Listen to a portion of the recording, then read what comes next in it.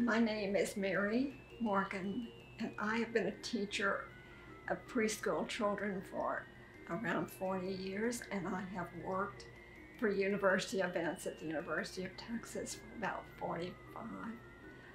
And I came today to read a story with you, and I'm so glad you're here to share it. It, is a Halloween story because it's close to Halloween. And uh, it's about a little witch. And this little witch has a big problem. And so we're going to read our book and see what the witch's problem is. The name of the book is Where is My Broom? And the lady who wrote it for us is named Margaret Hartelius.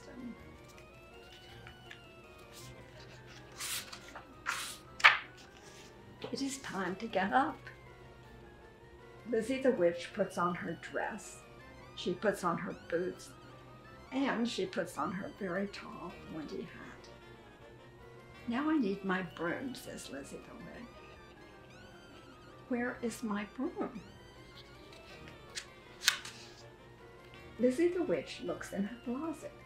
She looks behind her dresser and she looks under her bed. No broom. Hmm. My broom must be in the kitchen, says Lizzie the witch. She looks behind the stove. She looks in the cupboard and she looks under the table. No broom. Maybe the broom is in the living room, says Lizzie the witch. Then she looks behind a chair and under the sofa, and then she picks up the corner of the rug and looks under the rug, but no broom.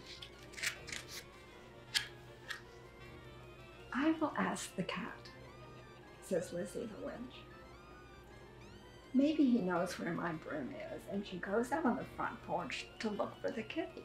She says, Kitty, kitty, kitty, where are you? Lizzie the witch looks behind the gate. She looks in the bushes, and she looks all the way at the top of the tree. No cat and no broom. She climbs the tree to the very top. She sees a nest of little birds, but no cat and no broom. Something flies by. Swoosh. What is that? says Lizzie the witch. Is it a bird? Is it an airplane? Is it maybe a rocket? It is. No, it is that cat on my broom. Come down here. Come down here right now, said Lizzie the witch. Swoosh. Down comes the cat on the broom. He swoops, swoops, scoops up Lizzie from the top of the tree and she flies up in the air. She lands on the broom, broom right behind the cat and they fly away together. So maybe they're going to fly away for Halloween. Thank you so much for coming. It makes my heart happy to read a story to you. And have a happy Halloween.